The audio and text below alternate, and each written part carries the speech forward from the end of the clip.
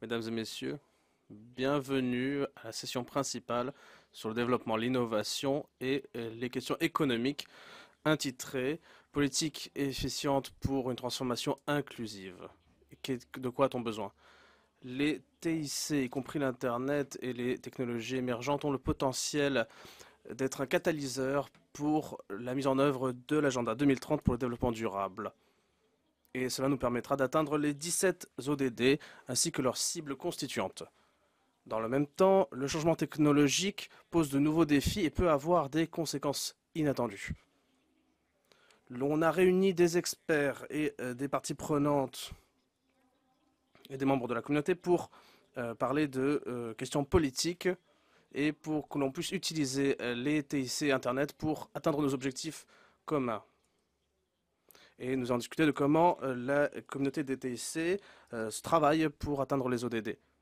Il y aura trois parties. La première sera euh, des interventions d'experts.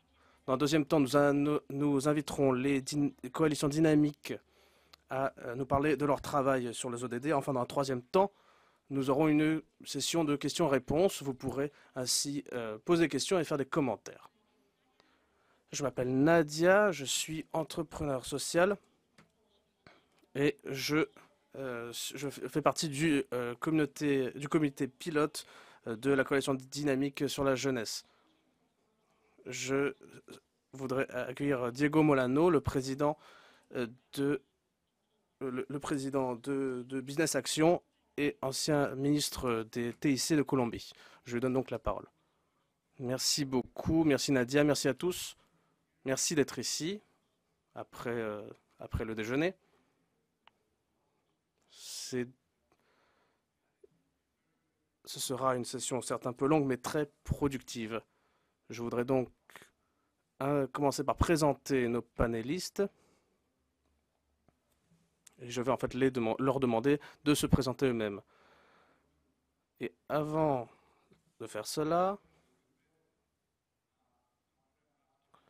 Je vais demander à chacun donc de se présenter, mais également de nous dire quelque chose d'autre sur vous. Je voudrais que vous nous parliez non seulement euh, de votre travail, mais dites-nous autre chose. Dites-nous quelque chose que vous n'avez pas dit à qui que ce soit. Je vais commencer moi-même. je m'appelle euh, Diego Molano. Je suis colombien.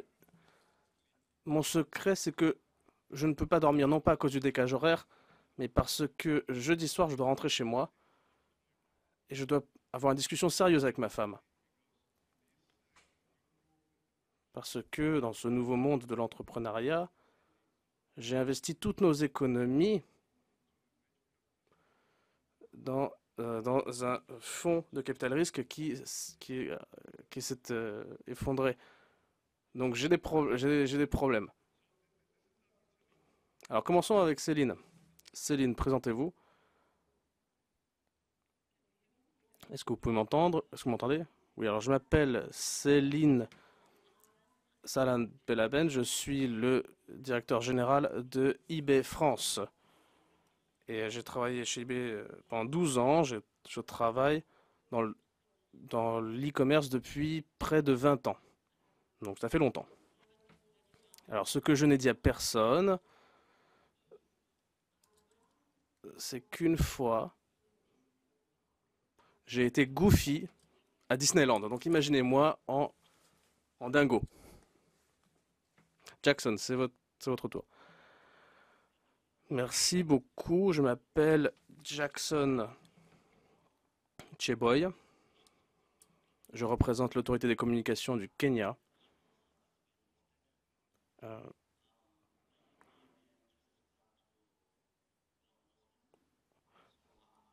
Je travaille euh, beaucoup avec les forces de euh, police. J'ai travaillé euh, en criminologie, j'ai également travaillé dans la criminologie numérique, dans les forces de l'ordre également. Et d'ici deux ans à peu près, je travaillerai probablement dans l'agriculture. Bishaka, bonjour, je suis Bishaka Dikata, je vis à Bombay en, Inde et je représente une ONG qui travaille sur le genre, la sexualité et la technologie ainsi que les, le handicap. Alors mon secret, je ne vais pas, j'aurais envie de faire un, vous dire un faux secret, mais en fait, mon vrai secret, c'est que euh, je suis DJ. Voilà, je, reprends des cours de DJ. Andrés, bonjour. Je m'appelle Andrés Arthur. Oh, Sastré, pardon. Je représente la CIAT. Je suis espagnol, mais je travaille en Uruguay. Et j'aimerais vous dire que, en fait, ça ne me plaît pas tant que ça. Alors, mon secret à moi, c'est que j'ai composé une chanson qui euh, pour l'Eurovision, mais finalement je ne l'ai pas présenté. Alors vraiment, on peut vraiment s'amuser. On a une chanteuse, un DJ, c'est formidable.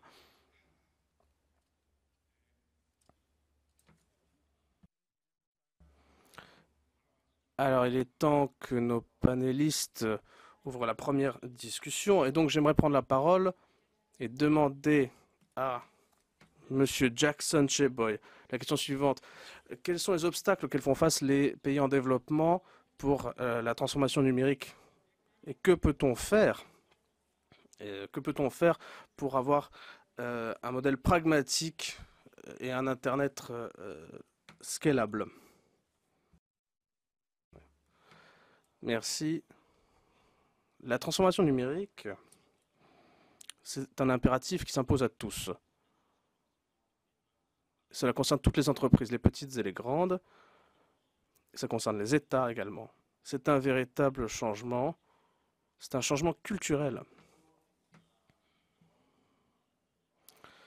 Même si euh, les défis sont plus ou moins les mêmes au niveau mondial, nous avons également des, défis propres, notamment des contraintes budgétaires, un manque de euh, visibilité et un manque d'expérience euh, du numérique. On n'est pas toujours bien soutenu du point de vue du, leadership qui ne met pas la priorité sur la transformation numérique. Dans les économies en développement, il y a des obstacles particuliers, uniques, qui empêchent cette transformation. Essentiellement, cela est dû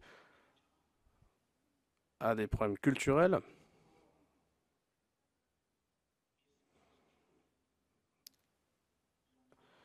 Les,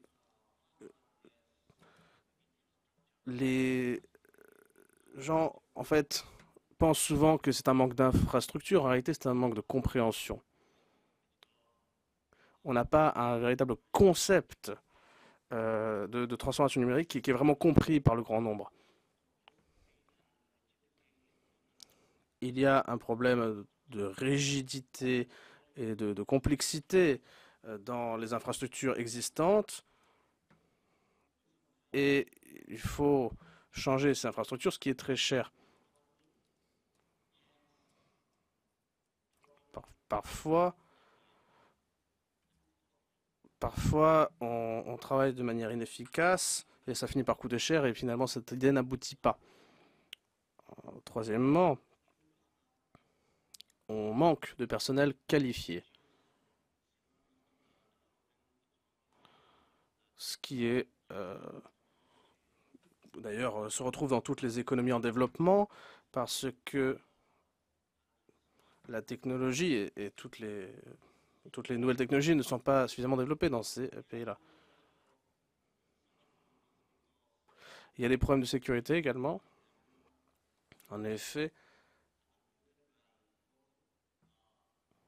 la crainte de l'inconnu qui euh, touche aussi bien euh, la sphère juridique que euh, la sphère politique pose un problème parce que cela pousse les gens à refuser cette transformation. Enfin, il y a une croissance et une diversification exponentielle de la technologie. Et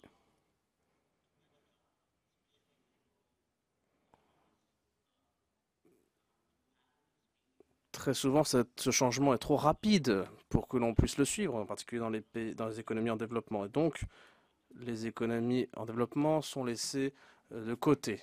Merci beaucoup. Merci Jackson. Je pense que nous allons passer à l'espagnol. Donc, euh, mettez vos écouteurs. Andrés.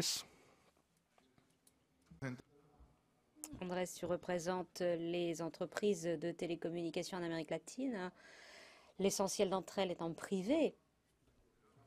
Un seul système avec interopérabilité euh, et stabilité est fondamental pour que nous-mêmes, les citoyens, les populations, puissions euh, bénéficier de ces technologies et des opportunités de développement qui les accompagnent. Quel est le rôle joué par le secteur privé pour faciliter cette tâche? Merci infiniment Diego, merci pour cette question. Alors, j'ai trois minutes, je vais donc rester très concret. Euh, je crois que notre principal rôle, c'est euh, de créer la confiance euh, chez les citoyens vis-à-vis de nos services, vis-à-vis de nos systèmes, et travailler avec également les gouvernements pour générer du capital humain, donc améliorer la connectivité et les infrastructures. ça fait partie de l'interopérabilité du système. Euh, ça fait un certain temps que les services de communication se fondent sur euh, la connectivité globale, euh, qu'ils ont l'interopérabilité, que ce sont des systèmes ouverts, mais ça n'existe pas partout sur toute la chaîne numérique. Il existe encore des services sur la toile, messagerie vocale et autres, où les choses n'ont pas suffisamment progressé en termes d'interopérabilité. Évidemment, on peut changer de plateforme, mais qu'est-ce qu'on fait de nos données? Il faut euh, donc continuer à travailler dessus pour améliorer la compétitivité et la confiance de l'utilisateur. La confiance de l'utilisateur est également liée à la sécurité et au respect de la vie privée. Il est clair que les économies émergentes ont besoin de numériser les processus productifs, ce qui passe de toute évidence par une économie des données euh, et, donc pouvoir utiliser ces données. Mais ça ne doit pas être fait euh, euh, au détriment de la vie privée des habitants. Il y a quelque temps, en Amérique latine, une étude sur la confiance et la sécurité des citoyens a été réalisée. 64% des répondants ont dit qu'ils étaient plus inquiets quant à leur vie privée que l'année d'avant. Et beaucoup étaient également inquiets, notamment euh, euh, vis-à-vis de l'utilisation de leurs données par des entreprises euh, à fin commerciale ou pour des raisons de fraude. Et c'est lié à une certaine crainte également du côté des entreprises de numériser leurs informations parce qu'ils ont peur du vol, du, du, hacker et de perdre leurs données. Donc il nous faut un système fiable où l'utilisateur sache ce qui est fait de ses données, de sa vie privée. Le président Macron y a d'ailleurs fait référence plusieurs fois hier, et c'est notre rôle en tant que secteur privé de protéger l'utilisateur, de protéger sa vie privée et maximiser l'utilisation dans le même temps des données pour une économie euh, numérique. Autre élément euh, où le secteur privé peut euh, contribuer, notamment dans les économies émergentes, c'est la formation de, capital humain. Par exemple, en Amérique latine, deux jeunes sur trois ne sont pas prêts à occuper un emploi qui exige des connaissances technologiques. Et il faut mettre à jour les programmes éducatifs, non seulement en termes de technologies existantes, mais pour qu'ils puissent créer de nouvelles technologies et donc coopérer avec le milieu universitaire et les ministères. Merci. Merci beaucoup. J'aimerais demander à Céline euh, Saddam Benaben de répondre à la question suivante. Quelles sont les politiques dont on a besoin pour encourager et améliorer l'innovation et l'investissement dans les TIC comment faire en sorte que les petites entreprises puissent en bénéficier? Merci beaucoup. Permettez-moi de m'exprimer en français et anglais. Je crois que les entreprises privées, et en particulier eBay, créent déjà des opportunités numériques pour des petites entreprises et pour entreprises de toute taille. Depuis sa création, il y a plus de 20 ans, eBay a, représenté une plateforme sûre et mondiale pour tous les vendeurs de toute taille et dans pratiquement tous les pays. Et ainsi, tous les vendeurs ont pu vendre leur pays aux euh, plus de 220 millions d'acheteurs dans le monde. Nous avons aujourd'hui des millions de vendeurs, petits, grands, de divers pays. Par exemple, 99% des petites entreprises en France vendent à l'étranger dans plus de 20 pays. Les seules choses, la seule chose que ces entreprises doivent faire, c'est fournir un produit. Et elles ne doivent pas investir par ailleurs. Ils doivent payer une petite euh, contribution s'ils arrivent à vendre. Et où que vous soyez, que vous soyez une grande entreprise, une petite entreprise, un vendeur individuel, ou que vous fassiez, fassiez cela afin d'avoir des revenus additionnels, vous pouvez être euh, visible pour tous les acheteurs dans le monde grâce à notre plateforme. Nous sommes pleinement convaincus que les petites et moyennes entreprises créeront de la croissance à l'avenir. Nous pensons que les entreprises privées et les autorités publiques doivent euh, joindre leurs forces pour permettre cette croissance. Les euh, vendeurs nous font un retour d'expérience euh, régulier sur les choses qui pourraient être améliorées. Tout d'abord, il faudrait que tout le monde puisse avoir accès à l'Internet à haut débit, où qu'il soit. Il ne faut pas être pénalisé par un, un manque de connectivité à l'Internet. Ça, c'est la première chose à faire. Ensuite, il faut euh, des infrastructures logistiques, des infrastructures euh, de transport de marchandises. Euh, il faut que ces infrastructures soient rapides, fiables, qu'elles soient accessibles et transparentes. Si vous voulez vendre un produit,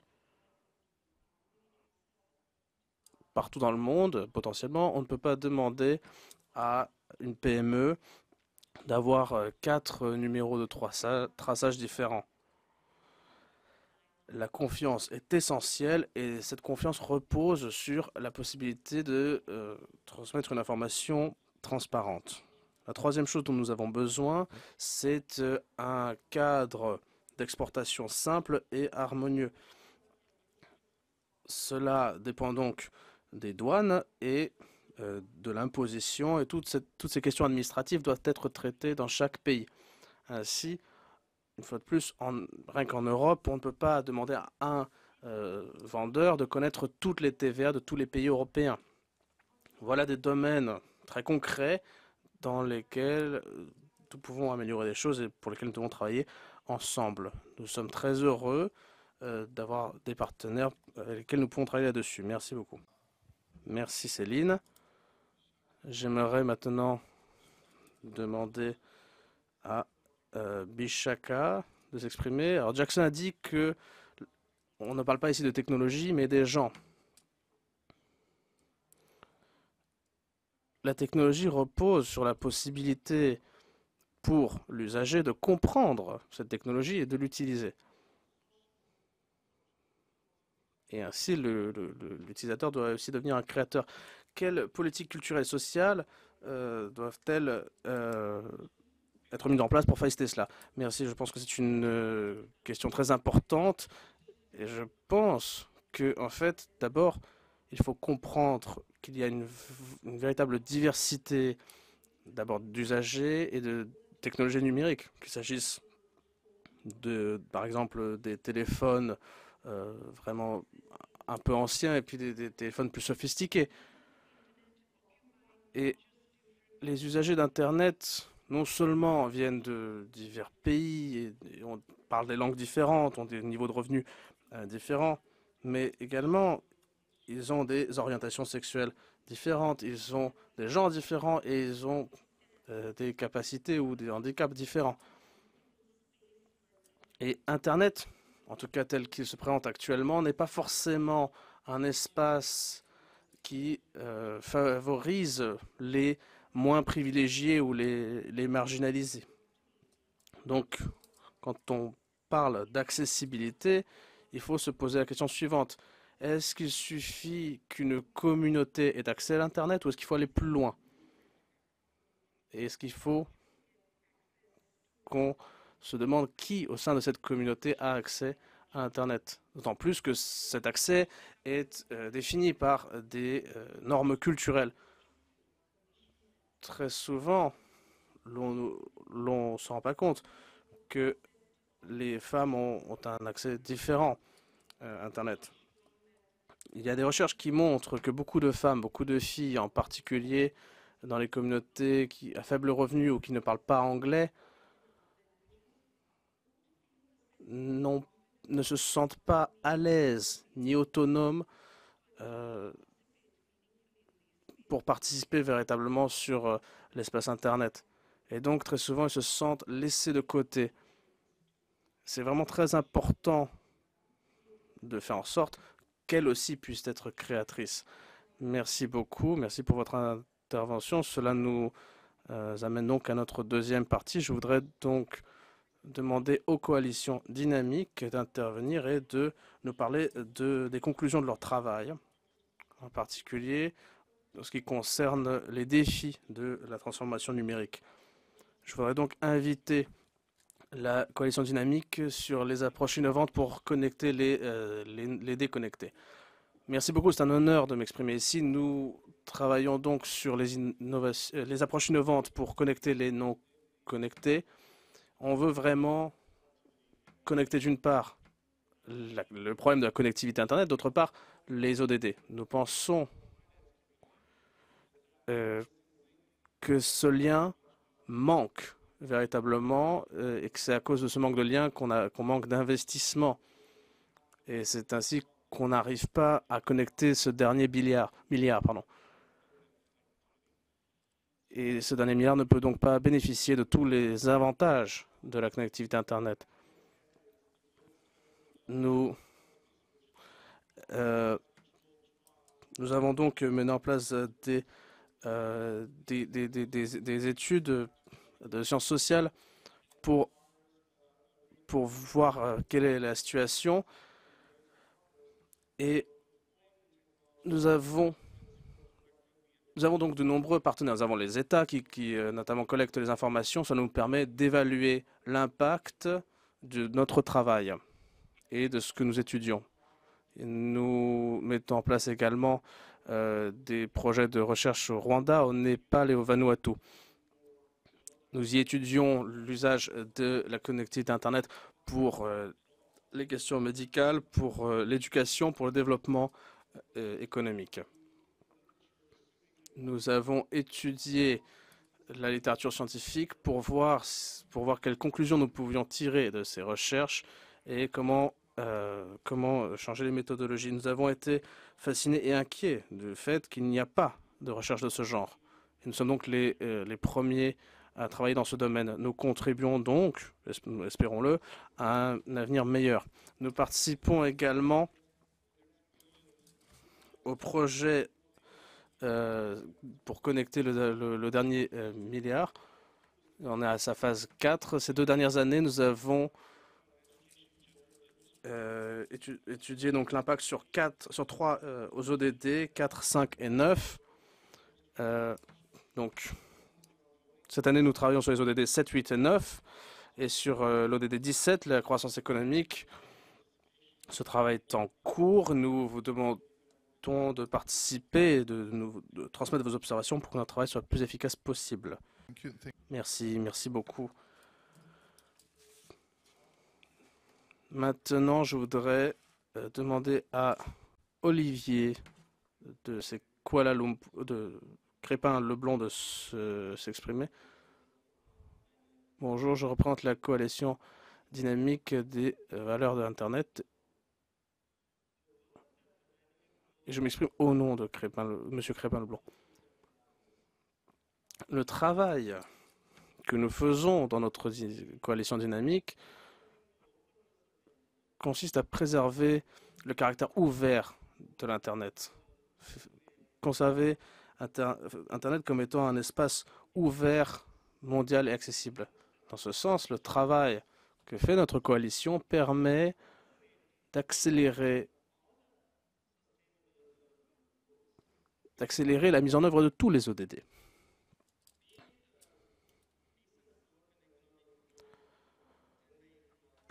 Le travail sur l'innovation industrielle, la croissance économique, les inégalités à réduire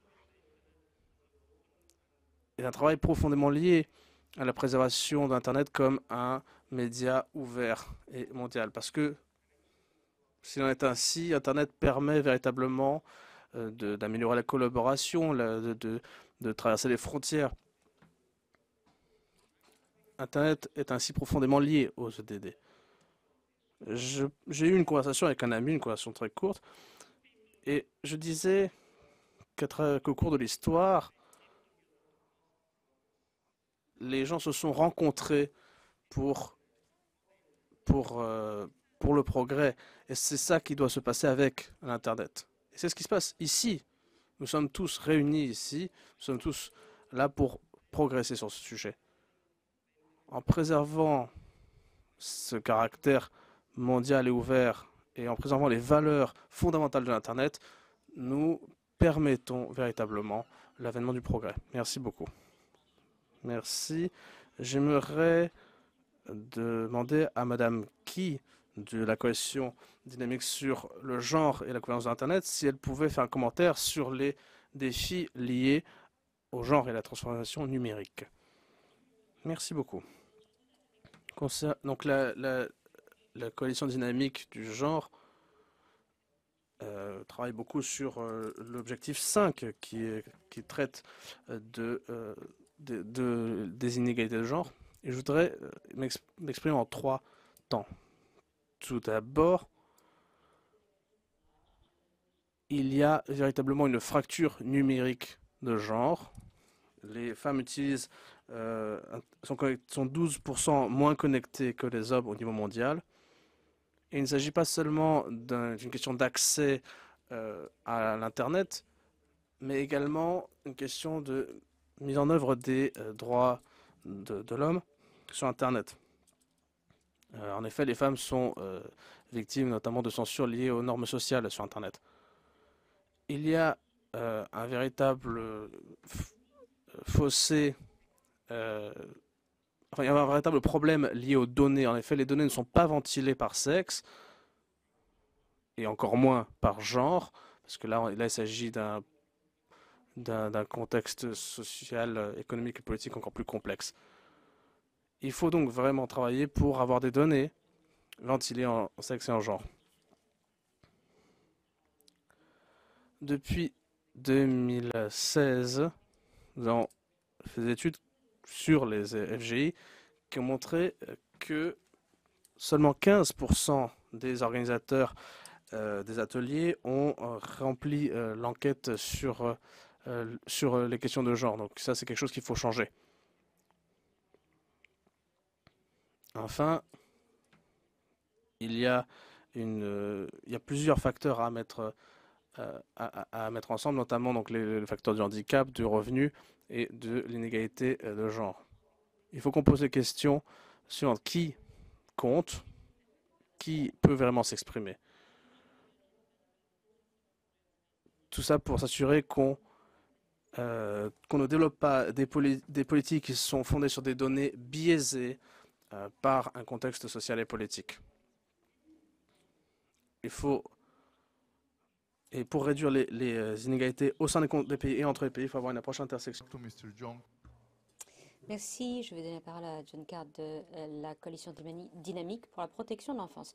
Merci infiniment. C'est un grand honneur et privilège pour moi d'être parmi vous ici à l'IGF et de m'exprimer au nom de ma coalition dynamique. Je représente ACPA International, je suis britannique, je vis à Londres, mais je représente ACPA International, qui est une ONG mondiale basée à Bangkok.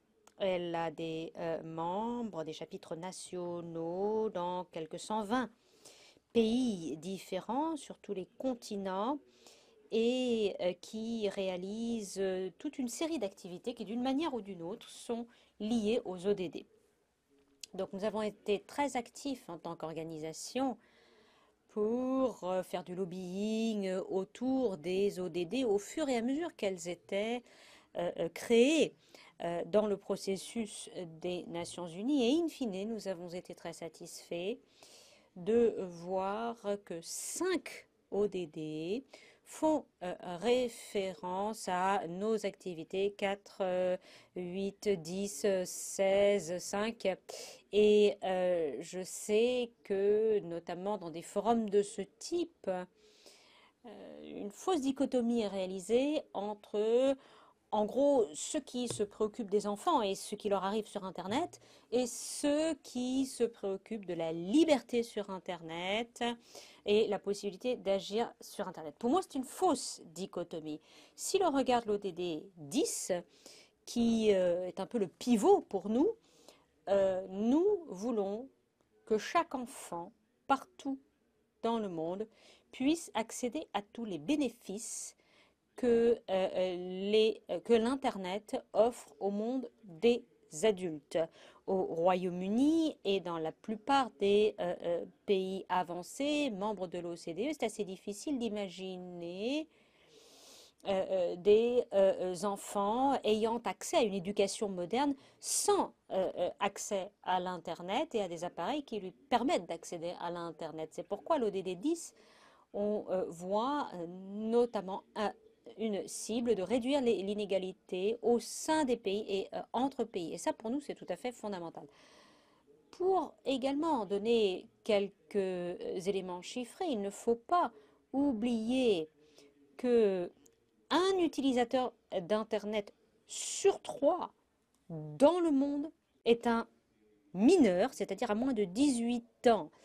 Euh, et dans des pays en développement, c'est à peu près 50% et même dans certains pays au-dessus de 50%. Donc une chose qui nous préoccupe beaucoup et que nous défendons avec acharnement dans ce type de forum, c'est cette dimension de l'Internet et euh, euh, le, le, volume d'implication de la jeunesse qu'il ne faut pas laisser de côté parce que malheureusement c'est encore trop souvent le cas que l'on parle de l'Internet et des politiques de l'Internet comme si tous les utilisateurs de l'Internet étaient des adultes. Et ça n'est absolument pas le cas. Et les enfants ne sont pas un petit groupe marginal, euh, c'est une euh, proportion euh, considérable des utilisateurs d'Internet dans le monde. merci infiniment, Madame Mina Morera, de la coalition sur les droits et principes de, l'Internet d'intervenir. Merci, je suis ravie de représenter cette coalition parmi vous aujourd'hui. Cette coalition sur les droits et principes de l'Internet euh, travaille euh, sur la charte des euh, droits de l'homme et des principes pour l'Internet publiée en 2011 et joue un rôle très important dans les communautés sur l'ouverture aux droits de l'homme à travers l'ensemble des groupes de parties prenantes. La charte elle-même résonne et a un lien direct avec les ODD et se concentre en particulier sur certains domaines dont nous parlons euh, ici, tels que des questions relatives à l'environnement, euh, les droits, les technologies émergentes. Nous souhaitons également nous concentrer sur l'innovation euh, dans le travail et en particulier dans la charte, nous avons l'article 14 le droit au travail, le respect pour les droits de ceux qui travaillent et euh, également l'Internet sur le lieu de travail et le travail par le biais de l'Internet ou sur l'Internet. Ce qui est lié également à l'article 16, le droit à la protection du consommateur sur Internet. Parce que nous estimons qu'en matière d'innovation, les normes et les législations humaines et le développement durable doivent conduire euh, les nouvelles technologies. Merci. Merci, Minda. Parlons de l'éducation. Je vais demander à Janet Savoya euh, de euh, la coalition sur l'accès aux bibliothèques de bien vouloir nous en dire un peu plus. Merci. L'accès public aux bibliothèques, c'est la possibilité d'aller euh, en ligne gratuitement euh, dans un environnement non commercial avec euh, le soutien à la formation nécessaire. Cela implique un accès à l'information et c'est en lien avec l'agenda 2030 des Nations Unies, l'autonomisation des individus à prendre de meilleures décisions pour eux-mêmes et leur communauté pour promouvoir le bien-être économique, environnemental et social. Les ODD sont applicables partout dans le monde, ainsi l'accès public également pour ceux qui sont hors ligne les bibliothèques sont des lieux euh, privilégiés pour aller en ligne et accéder à des informations sur tout le sujet, santé, emploi, éducation et autres. Dans des pays où euh, on a des euh, ordinateurs et l'Internet à la maison, les bibliothèques sont un complément pour obtenir également des compétences. Les bibliothèques donc permettent de contribuer à la réalisation des ODD. Les bibliothèques euh, fournissent des infrastructures. La connexion des euh, bibliothèques euh, est à faible coût et à haut impact et offre un bénéfice à toute une communauté. Ces bibliothèques, dans la plupart des endroits, existent déjà, sont bien connues des communautés, sont déjà inclus dans les programmes de formation étatiques et soutenus par d'autres programmes universels avec des budgets dédiés et aux bibliothèques et aux infrastructures numériques. Les bibliothécaires ont une mission euh, d'aider euh, l'individu, les utilisateurs à accéder aux informations dont ils ont besoin. Et grâce aux ressources en ligne, au-delà de leurs propres ressources, les bibliothèques euh, permettent au public d'accéder à plus d'informations et d'acquérir des compétences numériques. Les bibliothèques offrent des programmes et services complémentaires. Un soutien aux bibliothèques pour une bonne connexion à Internet permet d'avoir des services contribuant à aux ODD et par exemple d'une formation pour euh, les communautés marginalisées ou euh, euh, vulnérables, ainsi que l'ODD2, les institutions éducatives en matière de codage robotique, conception web et autres éléments éducatifs sur l'ODD 5. Elles permettent l'égalité de genre dans l'utilisation des technologies. Souvent, les femmes estiment que la bibliothèque est un lieu sûr pour apprendre à aller en ligne, un accès qu'elles ne trouvent pas ailleurs. Les bibliothèques offrent également une formation à l'entrepreneuriat, permettent d'avoir un soutien financier pour lancer son entreprise et euh, en droite ligne de l'ODD 8 permet le développement de compétences euh, professionnelles et trouver un un emploi euh, avec l'ODD 2 dans le domaine de l'agriculture. Ils soutiennent les agriculteurs, l'accès à l'information des marchés et euh, les services de l'agriculture ainsi que l'accès euh, à des financements. Enfin, et également en matière de soutien à la santé et au bien-être. Elle permet le développement de campagnes de santé, permet également un accès libre à toute information de santé. C'est en particulier important pour les femmes qui euh, euh, ont du mal à accéder à ces informations par Internet chez elles. Merci.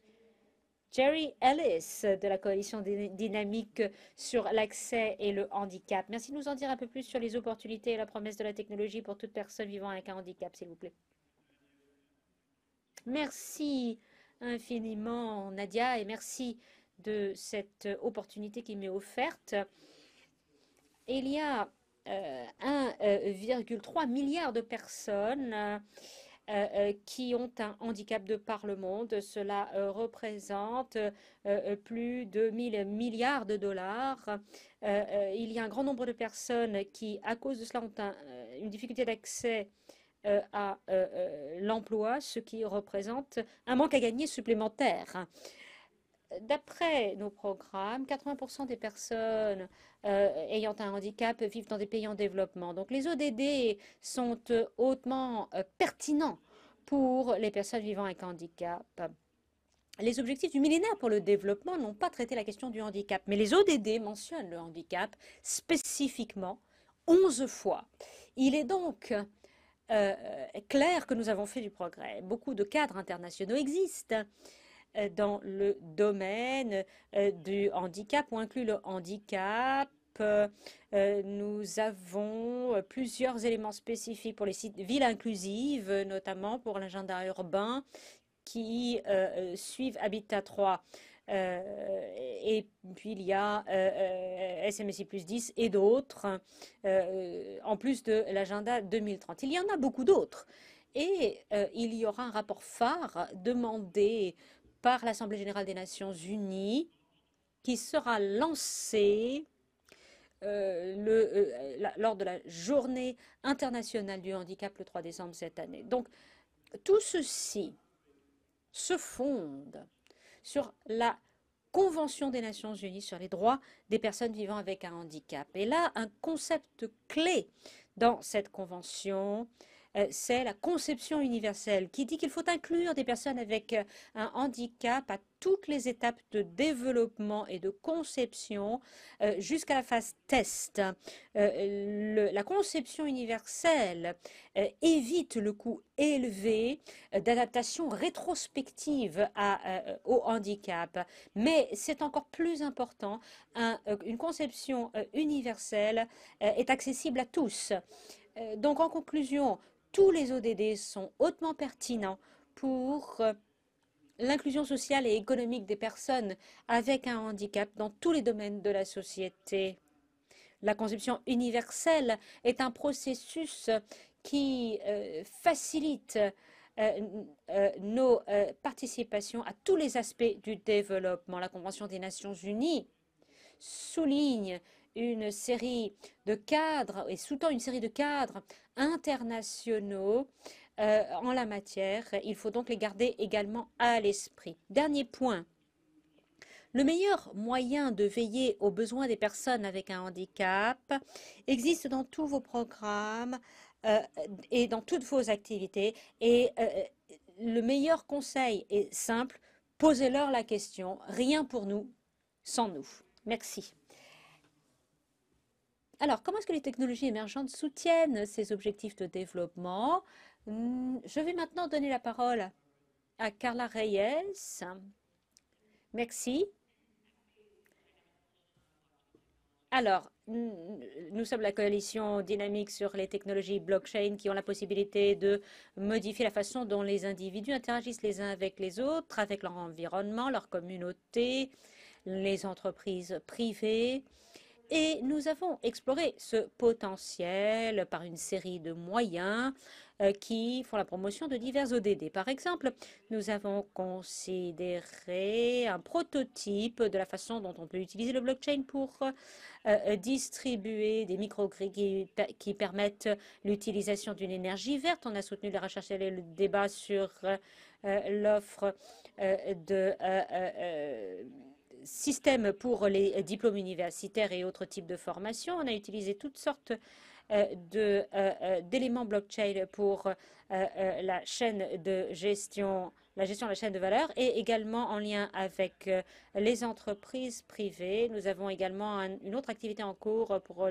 la redevabilité des entreprises, la responsabilité des entreprises et le blockchain. Donc, dans toutes ces activités, nous avons vu dans notre travail, mais de manière plus générale, en interagissant avec la communauté blockchain que ce qui va soit promouvoir, soit euh, empêcher la capacité des technologies à atteindre leur potentiel pour euh, euh, modifier, reformer les interactions humaines pour promouvoir les ODD ou pour, promouvoir autre chose d'ailleurs. Hein. ce sont les mécanismes de gouvernance pour la technologie blockchain spécifiquement. Il y a un débat en cours pour ceux qui ne le savent pas des meilleures structures de gouvernance pour les protocoles blockchain et de notre point de vue, euh, euh, le travail sur ces questions va jouer un rôle crucial dans la capacité de la technologie à accomplir le but pour lequel elle a été créée. Nous regardons la connexion entre la gouvernance, la gouvernance blockchain et la promotion des ODD en particulier le bien social de manière plus générale dans notre session de demain et toute personne intéressée, n'hésitez pas à participer. Merci. Alors, nous continuons ce débat sur les technologies euh, émergentes et le soutien aux ODD. Je voudrais euh, demander à Martin Bottoman euh, de l'Internet des objets de bien vouloir intervenir. Merci infiniment. Fondamentalement, la numérisation est en train de, de modifier toute notre façon d'agir en société. C'est aussi une nécessité euh, pour tout ce que nous faisons aujourd'hui dans le monde et que nous utilisons de façon de plus en plus intensive. L'Internet des objets, les objets connectés, euh, sont là pour nous aider. Euh, mais ils s'accompagnent souvent de dangers. ce sur quoi nous nous concentrons dans notre coalition dynamique, c'est la recherche euh, de la voie éthique euh, pour euh, que le développement de l'Internet des objets soit de façon durable, soutenant à la fois le, monde de l'entreprise et les sociétés. Évidemment, il convient de définir éthique à l'échelle mondiale. C'est bien là la difficulté parce que l'éthique, ça n'est pas mon éthique à moi ou votre éthique à vous euh, euh, dans euh, les différentes parties du monde, et cela aura un effet sur les ODD. Par exemple, si l'on commence par l'ODD 2, l'agriculture, il est évident que la technologie peut beaucoup aider à améliorer les rendements de l'agriculture. On utilise déjà des technologies aujourd'hui dans un certain nombre de pays il y a des technologies qui euh, sont faciles à adapter pour améliorer euh, également les rendements locaux, par exemple contrôle de l'irrigation. Et une fois qu'on a compris la meilleure façon de les utiliser, ça c'est d'ailleurs l'une des principales activités de, des Nations Unies à l'heure actuelle, avec le soutien de l'Université de l'agriculture des Pays-Bas. Et la même chose s'applique pour euh, une vie en bonne santé. Euh, on a par exemple les systèmes d'alerte rapide liés à l'environnement.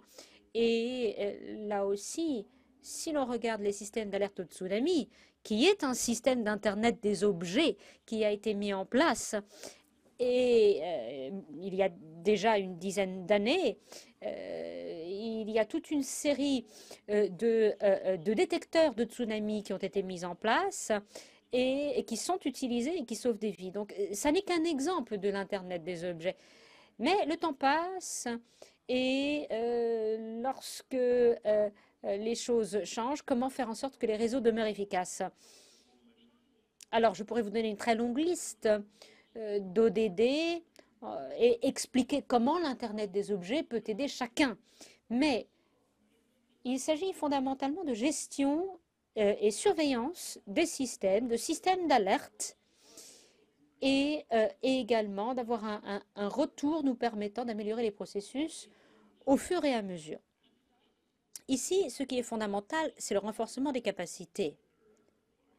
Parce que euh, les systèmes sont efficaces quand ils sont développés et appliqués localement par les populations locales pour résoudre des problèmes locaux.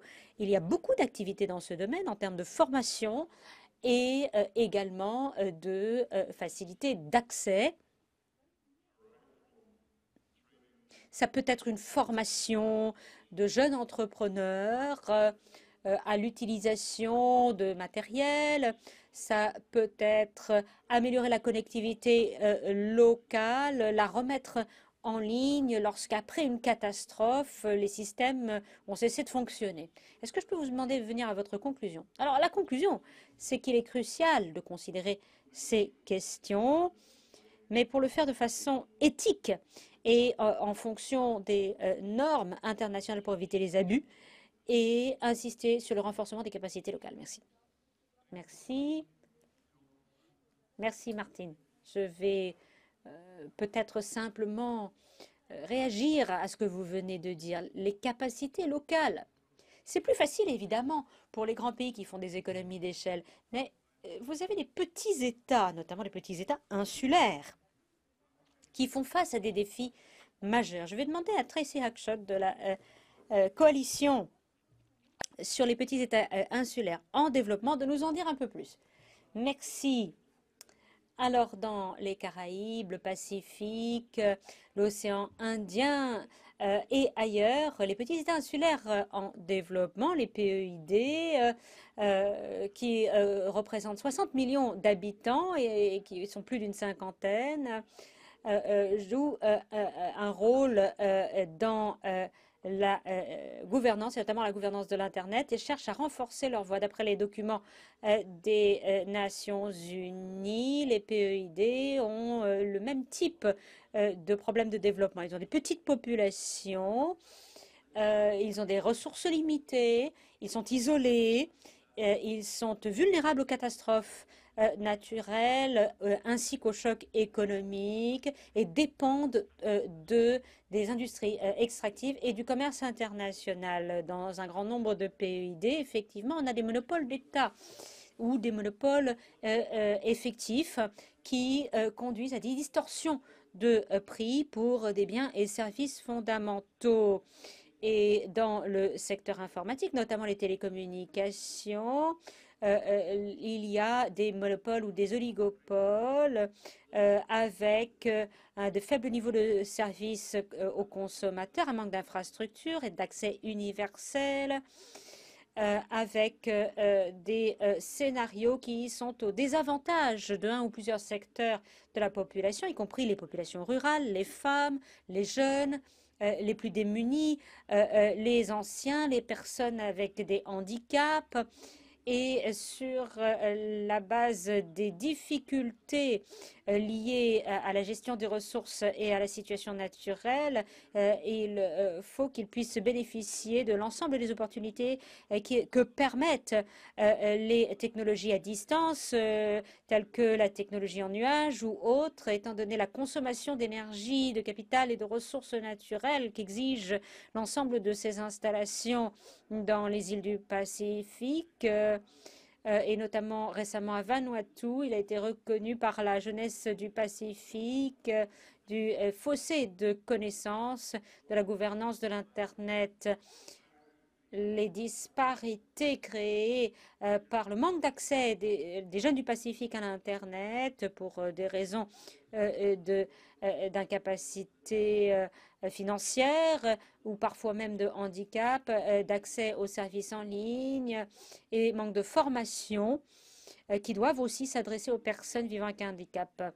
Euh, sur le plan financier, euh, les euh, dirigeants des diverses organisations doivent encourager les gouvernements du Pacifique, par le biais de leur forum, à concentrer leur stratégie sur certaines des recommandations clés réalisées par notamment la Banque mondiale, c'est-à-dire en matière de leadership national et développement de, législation qui incite davantage d'accès à la numérisation, euh, soutenir et développer les compétences numériques. Conclusion, s'il vous plaît. Alors, dans les Caraïbes, il a été considéré comme approprié dans le cadre des stratégies de développement de la région qu'un plus grand nombre de pays mettent en place des infrastructures régionales ensemble pour euh, assurer une meilleure participation du public euh, au renforcement des capacités, à la collaboration. Les PEID doivent également euh, mettre en place des partenariats avec des organismes internationaux afin que les ODD puissent être atteints les uns après les autres. Merci. Merci. Sonia Herring de la Coalition sur la gouvernance de l'Internet. Merci de nous parler du développement du leadership et les compétences en la matière. Merci. Alors, notre communauté est très diverse, euh, inclut diverses parties prenantes dans thèmes, domaines d'expertise et donc sont concernés par plusieurs ODD. Nos membres ont réalisé l'apprentissage par les pairs euh, euh, sur la connaissance de la cybersécurité avec divers projets réalisés par les jeunes au service de leur communauté. Cela permet la promotion de la gouvernance de l'Internet ainsi que l'apprentissage de compétences euh, techniques adaptées au marché du travail. nous avons là les ODD 4.4 et 8.6. C'est particulièrement remarquable dans des événements tels que USDIC, CIDIC, où l'école jeune, où les participants euh, sont plus tard euh, euh, organisateurs, points focaux et volontaires dans la communauté. autre exemple de la région Afrique, mais qui est également international. Digital Grassroots, qui est un, programme de renforcement des capacités des jeunes pour les jeunes. Merci. Diego, je vais vous confier euh, l'élément suivant de notre session. Je vais me tourner vers les panélistes. Avez-vous des questions, des remarques, des réactions à ce que vous avez entendu de la part des diverses coalitions dynamiques? Surtout, n'hésitez pas, Bishaka. Oui, je, crois que ce que j'ai particulièrement remarqué, c'est euh, une remarque sur la coalition sur le genre et la gouvernance de l'Internet, sur euh, le, fait que le genre n'est pas suffisamment reflété à l'IGF. Euh, une chose qui a été institutionnalisée il y a quelques années à l'IGF, euh, c'est dans les rapports des ateliers que nous remplissons, que nous préparons, il faut que, que les données soient désagrégées. Combien y avait-il d'hommes? Combien y avait-il de femmes?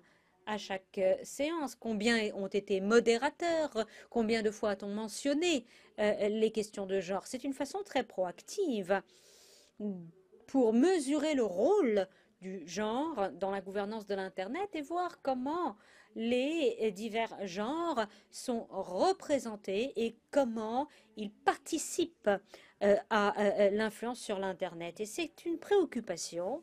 J'espère que nous allons prendre ça au sérieux que euh, nous avons moins de 50% des euh, participants qui remplissent euh, ces questionnaires remplissent les questions sur le genre. Et je crois que cela démontre qu'il n'y a pas suffisamment d'intérêt sérieux accordé à ce, qui, ce que nous savons être crucial pour l'ouverture de l'Internet.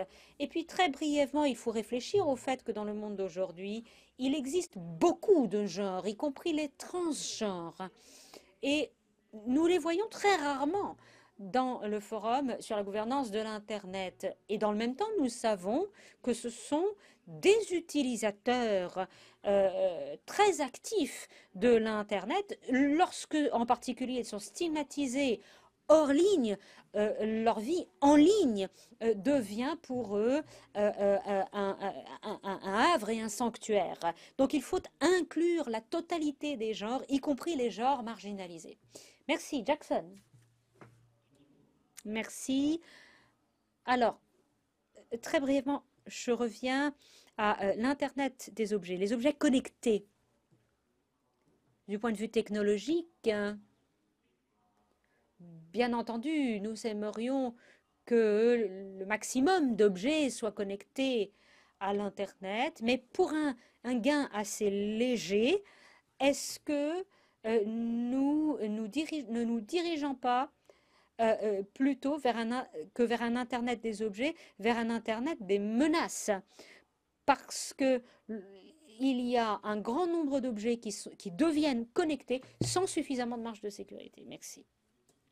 Merci. Euh, Andrés, est-ce que vous voulez Ou Céline Oui, je crois que ce que je euh, garde en particulier, c'est la diversité des défis qui ont été soulevés ici aujourd'hui. Très euh, divers. Et sans doute le dénominateur commun, d'après moi, c'est le besoin de développer l'accès pour tous et de surmonter les fossés qui existent, notamment de genre, mais aussi entre pays, l'accompagner par l'éducation euh, euh, sans doute, et en particulier l'éducation à certains éléments que nous considérons, considérons comme fondamentaux. Donc l'accès à toutes les dimensions, ça c'est quelque chose que, que, je vais garder. Merci. Merci Céline. Andrés.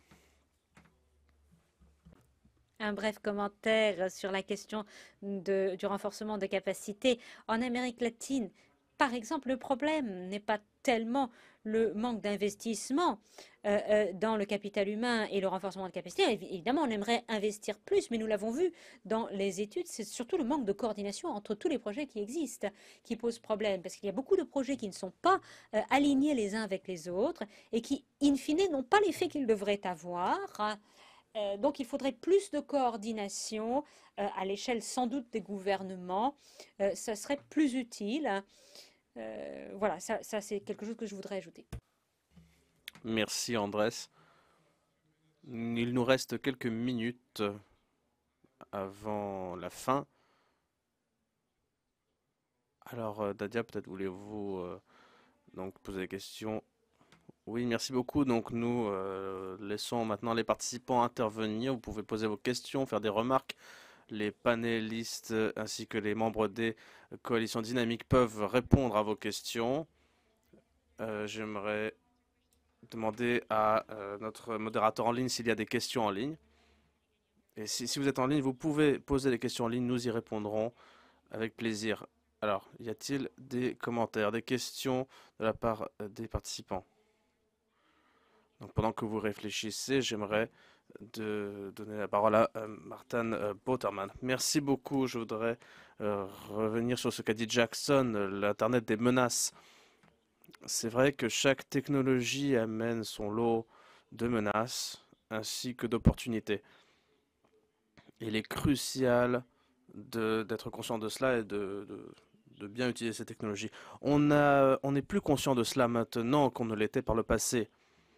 Et euh, quand on parle de renforcement des capacités, il ne s'agit pas seulement de connecter les gens entre eux, mais également d'apprendre aux États à gérer ces problèmes. Donc c'est un point important et il ne faut pas simplement mettre en œuvre aveuglement ces problèmes. Mais il faut quand même pas oublier les euh, avantages de ces technologies. Merci beaucoup pour ce commentaire. D'autres questions? D'autres commentaires peut-être?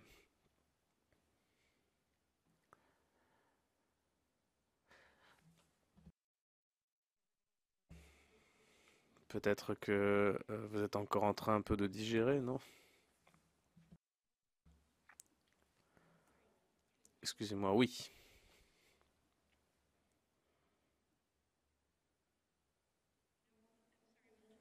Excusez-moi, je, ne sais pas vraiment qui veut prendre la parole. Excusez-moi. Je pensais que quelqu'un avait euh, levé la main avant moi. Oui, alors, Merci beaucoup pour cette présentation. C'était très intéressant. Euh, tout ce qui a été dit était très intéressant. Je voulais euh, simplement dire la chose suivante. Euh, ayant entendu les contributions des, des coalitions dynamiques, est-ce que les panélistes pourraient nous dire comment des synergies pourraient être mises en place à l'avenir au, cours des IGF futurs? Merci beaucoup. Y a-t-il encore une autre question? Excusez-moi, oui. Nous allons écouter votre question également. Bonjour, je m'appelle Marianne Franklin. Je suis de la coalition des droits et principes d'Internet. J'aimerais euh, revenir sur le commentaire de Nigel. Et je voudrais qu'en plus de répondre euh, à la question de Nigel, j'aimerais savoir si les membres euh, des coalitions dynamiques ou, ou les panélistes pourraient dire comment leurs priorités sont-elles liées à la durabilité, non seulement d'un point de vue écologique, mais également culturel Donc une vraie durabilité, pas seulement euh, symbolique. Voilà, j'aimerais que, vous nous disiez cela. Merci.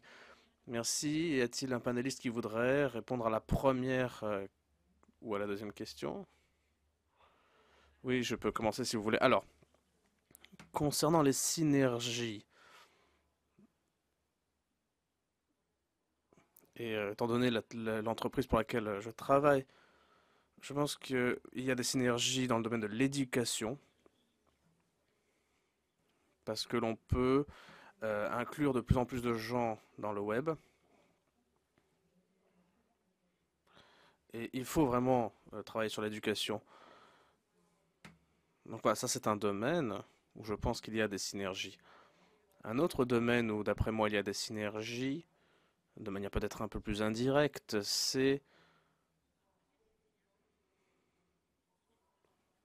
Enfin, en tout cas, euh, dans notre plateforme, euh, votre genre, votre pays, quoi que ce soit, votre euh, niveau d'éducation n'a pas d'importance. Voilà, ça c'est un exemple, c'est un domaine où l'on peut vraiment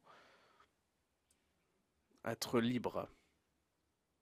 Avec, bien sûr, des contraintes.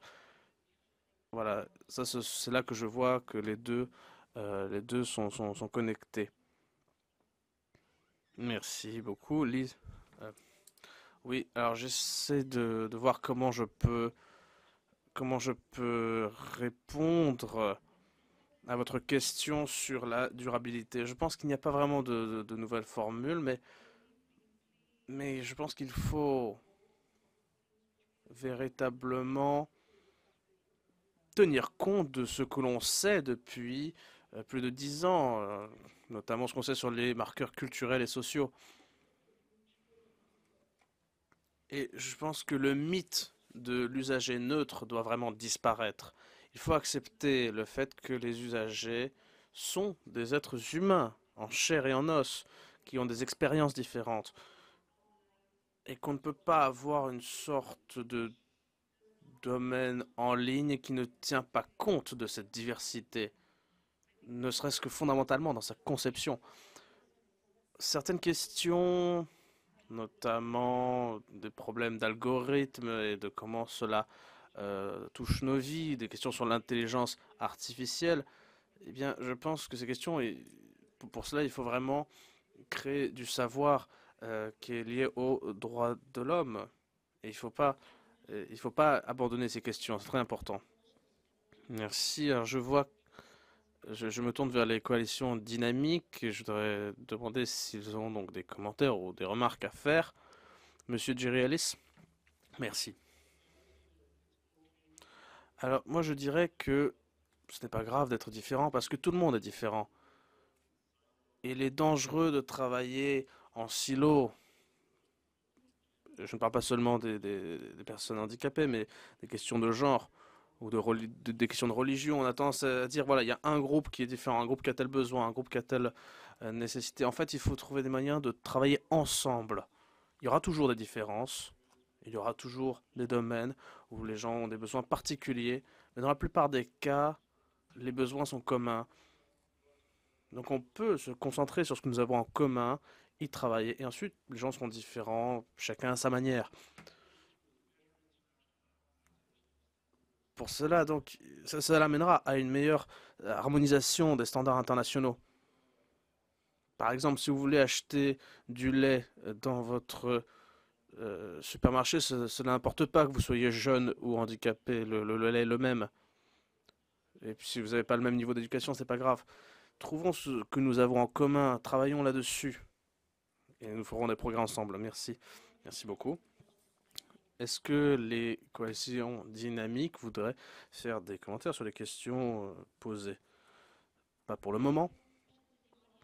D'autres questions, des participants, des questions en ligne peut-être? Oui, merci beaucoup. Bonjour. Je suis un membre de la société civile et je fais partie de plusieurs coalitions, notamment la coalition du genre et également celle de, des principes et droits d'Internet. Je voudrais dire tout d'abord que, de par leur nature, les coalitions dynamiques, euh, et le nom n'est pas, pas trouvé par hasard, de par leur nature, elles travaillent pour le changement. Ce que l'on voit cette année, c'est que au sein de l'IGF, les coalitions dynamiques sont plus actifs active pour le changement. Je pense qu'on devrait euh, se focaliser sur ce qui, est, ce qui, fonctionne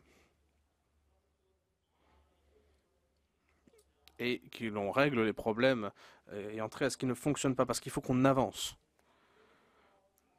Tout d'abord,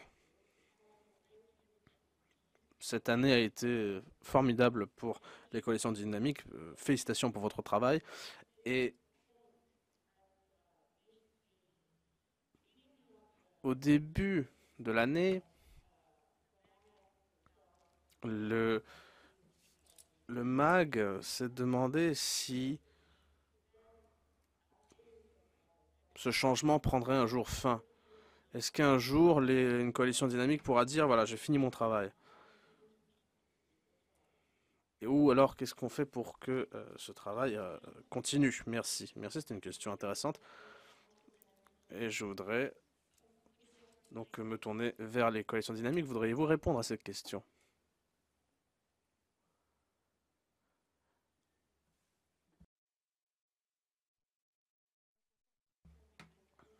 Je suis partagé parce que ma coalition dynamique est là également, la coalition pour la jeunesse. Donc j'ai envie de répondre à la question, est-ce que j'ai le droit? Mais entre-temps, je donne la parole à la coalition pour les valeurs fondamentales. Oui, ma réponse serait à, la question donc sur le, travail, qui, sur ce qu'on peut faire pour qu'il continue. Le nom parle de lui-même, c'est dynamique, ça continue ce qui est important, c'est qu'on ne passe pas d'une idée à l'autre, mais qu'on travaille vraiment toute l'année sur les problématiques que nous avons en commun. Ce que nous avons en commun, c'est l'Internet. Voilà. Formidable, merci beaucoup. Euh, madame Alors, je pense que les technologies changent, Internet change, donc notre réponse à ces changements change également les technologies, les problématiques liées aux technologies changent, continueront à changer, donc nous continuerons à mener un travail pertinent. Je pense que cela va continuer indéfiniment. Merci beaucoup. Monsieur Butterman? Oui. Nous, avons ici des discussions très intéressantes au sein de l'EGF et nous avons des documents très solides. Mais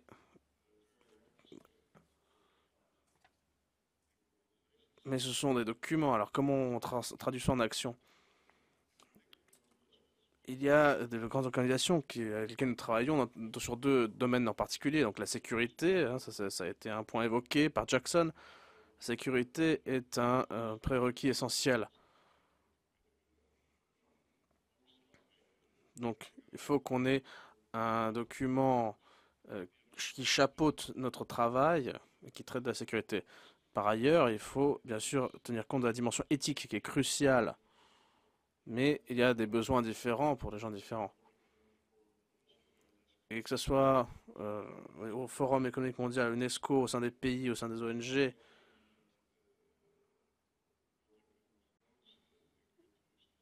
il faut, et nous sommes tous d'accord, avoir un document qui, qui, chapeaute notre travail, qui nous permet de savoir exactement sur quoi on doit travailler, de quoi on doit parler.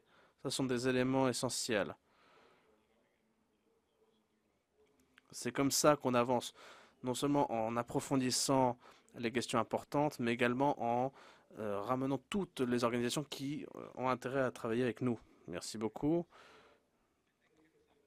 Oui, merci. Euh, alors, donc, nous sommes une coalition nouvelle. Nous avons commencé cette année. Je suis très impressionné par la visibilité dont nous avons bénéficié au sein de l'EGF. Je pense que ça peut encore être amélioré. Alors, je ne veux pas être trop controverse, euh, je ne veux pas être sujet de controverse, mais il me semble que ici, nous avons vraiment la possibilité, par rapport à d'autres agences du système des Nations Unies, nous avons la possibilité de mettre en place une structure de collaboration être visible ici, c'est donc une, manière d'être visible dans euh, d'autres agences. Et cela, véritablement, un impact sur donc, euh, les investissements et la durabilité. Ça, c'est très intéressant. Merci beaucoup pour vos commentaires. Nous allons continuer la session de questions-réponses. Je voudrais maintenant euh, demander à Diego de faire donc, un résumé des remarques de cette session. C'est une tâche difficile que vous me confiez là. Nous avons parlé de de sujets tellement différents cette année. Et ici. La première chose dont je, suis très heureux, c'est de voir que l'IGF travaille sur des questions aussi différentes. Et de voir qu'il y a toutes ces coalitions qui permettent euh, d'approfondir toutes ces discussions. Et comme beaucoup l'ont dit aujourd'hui, il faut que l'on sache ce qu'on doit faire ensuite, que doit faire l'IGF à l'avenir.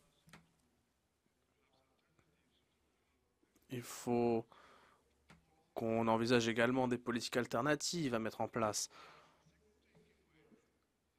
Alors, la deuxième chose à retenir, c'est ce qu'a dit euh, euh, Jackson.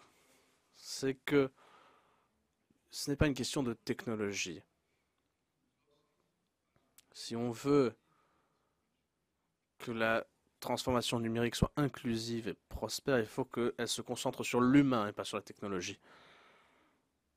Et on, on parle des, gens, en particulier de l'éducation d'ailleurs.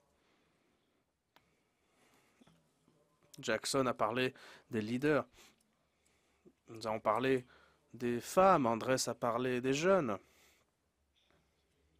Céline a parlé des petites et moyennes entreprises qui sont gérées par des gens. Donc le défi, c'est comment préparer les gens à cette nouvelle économie. Ça, c'est le défi à relever.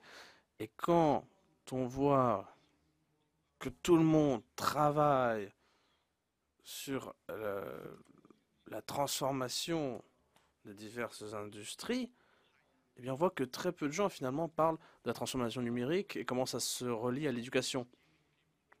Alors bien sûr, il faut que les gens aient les compétences nécessaires mais il faut qu'on travaille sur la préparation des uns et des autres à cet avenir. Ça, c'est le, défi principal à relever, parce que, au fond, aujourd'hui, la, principale ligne de division, c'est celle-là.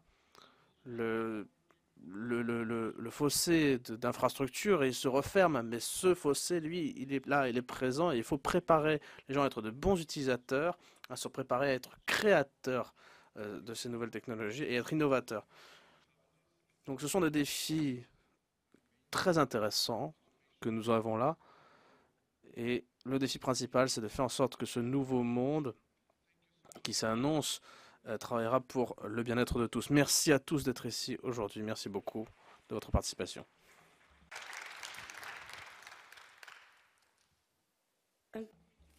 Merci beaucoup à tous. Je voudrais remercier nos panélistes, je voudrais remercier toutes les coalitions dynamiques qui ont pu présenter leur travail. Je voudrais remercier également le modérateur en ligne et tous euh, les interprètes qui nous ont permis, et tous ceux qui ont permis d'organiser cette session aujourd'hui. Merci à Timéa et Luta du MAG qui ont, qui nous ont, qui ont travaillé pour organiser ce, cette session. Et euh, merci pour, euh, à la coalition dynamique pour la coordination. Merci à tous d'être venus et nous espérons vous revoir euh, au cours de cet IGF.